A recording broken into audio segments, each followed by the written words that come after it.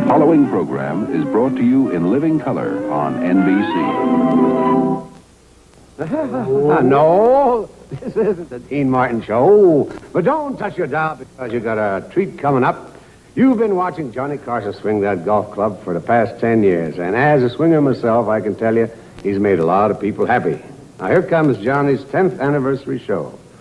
Loaded, uh, to coin a phrase, with a batch of real big stars. Ten years, that's a long time. I'd drink to that.